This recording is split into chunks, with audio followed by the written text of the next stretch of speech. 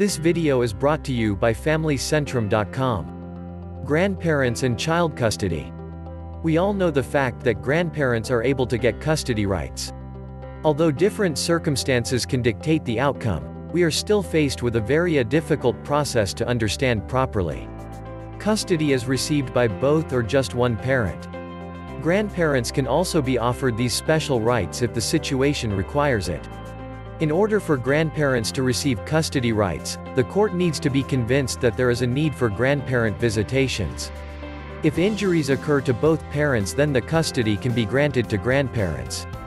Disputes will appear in the event that courts will decide that both parents lose custody rights. Unfortunately, this is one type of event that is actually quite common nowadays. A grandparent is to be offered child custody in the event that 1. Parents simply abandon their rights as parents. 2. The child is abandoned by the parents. 3. We are in front of a really damaging relationship between the child and the parents. 4. There is no safety environment provided by the parents for their children. 5. Parents turn out to be dangerous and abusive to their children. If one of the parents sees his parental rights terminated, then the other one becomes a sole guardian.